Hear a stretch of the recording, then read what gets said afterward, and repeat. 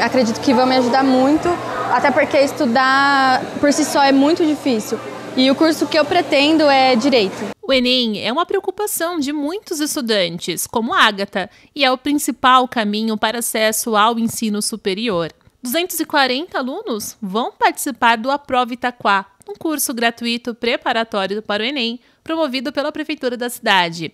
A aula inaugural aconteceu na manhã deste sábado, dia 27. A gente fica muito feliz. As salas de aulas, olha, tem ar-condicionado, tem todo o conforto necessário para que os estudantes possam realmente se preparar, tem café incluso, enfim, tudo isso à disposição dessa grande oportunidade. O curso tem duração de sete meses e as aulas acontecerão no espaço Pro Jovem Itaquá.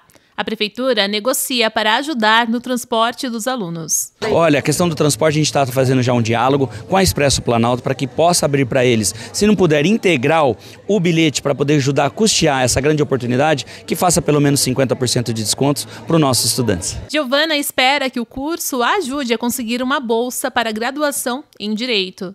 Bom, eu espero que o curso me ensine aquilo que eu não estou aprendendo na escola. Então eu espero aprender tudo aquilo que que são as matérias que realmente caem no Enem. Nós somos a maior rádio digital com jornalismo regional do estado de São Paulo.